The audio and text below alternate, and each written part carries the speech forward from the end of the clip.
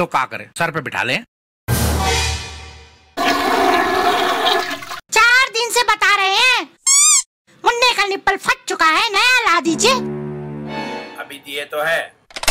पुराना है वो वो भी फटा हुआ। सी में शक्कर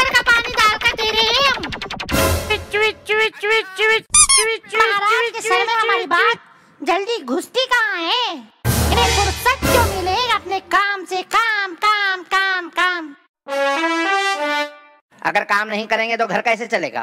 और आप है हमारी बात ही नहीं सुनते। हाँ हम थोड़ा पगला गए हैं। आजकल अकेले में बहुत बातें करने लगे हैं।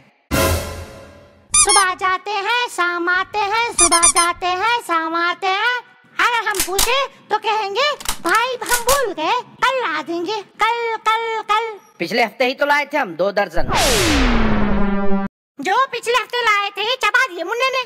शहद खा लिया और निप्पल फेंक दिया। अरे भाई तंग कर रहा है तो समझाइए। बड़े हो चुके हैं वो। मूछे भी उगाई है, मुँह पे। आप अगर कल निप्पल नहीं लाए तो उठा के फेंक देंगे नाली में आपको। बता दे रहे हैं। हमारे मुन्ने के खिलाफ हम एक भी शब्द बर्दाश्त नहीं कर सकते। चाहे हफ़्ते में दो दर्जन निप्पल फाड़े या दिन में दो दर्जन फाड़े, मगर अपने मुन्ने को चढ़ा लीजिए और चढ़ा लीजिए। सर पे चढ़ा के बिठा लीजिए। सड़क पे जाना मुश्किल हो गया हमारा। जो कोई भी हमें देखता है, वो देखो निप्पल का बाप जा रहा है। वो देखो निप्पल का बाप जा रहा है। वो देखो निप्पल का बाप जा रहा है। निप्पल के बाप बन गए हम, आपके मुन्ने के नहीं। समझे? आपके लाड़ प्यार ने इन्हें इतनी उम्र तक निप्पल के साथ बाँध के रखा है। मुबारक हो, निप्पल की अम्मा। निप्पल की अम्मा।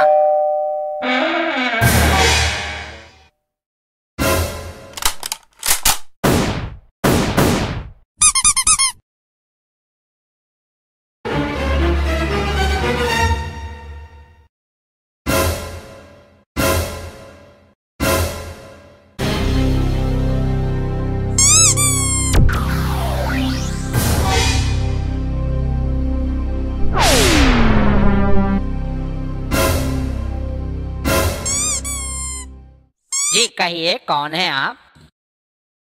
हम लोग पड़ोस में नए किराएदार आए हैं। बड़ी अच्छी बात है। धन्य उस मकान मालिक का जिसने आप जैसे खूबसूरत लोगों को किराएदार बनाया हमारे पड़ोस में।